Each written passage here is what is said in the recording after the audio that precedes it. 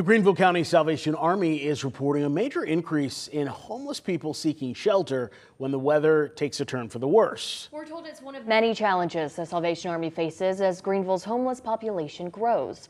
Our Peyton Furtado looks at those challenges and the potential solutions. Sometime in the near future, this could all be cleared as the Salvation Army makes more room to house some of Greenville's homeless population.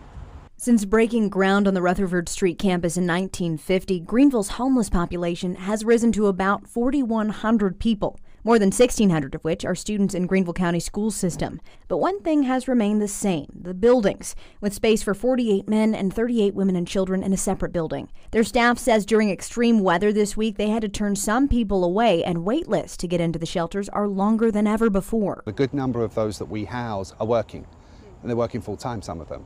Um, but that job doesn't pay enough for them to move out into somewhere that's safe and secure. That's why the Salvation Army is looking to rebuild some of their facilities on site for up to 143 people. That's the city's mandated limit. They're still in the initial planning phases. In the meantime, they rely on the Greenville community to keep their doors open.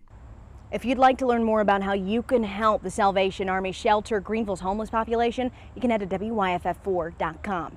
In Greenville, I'm Peyton Furtado, WYFF News 4.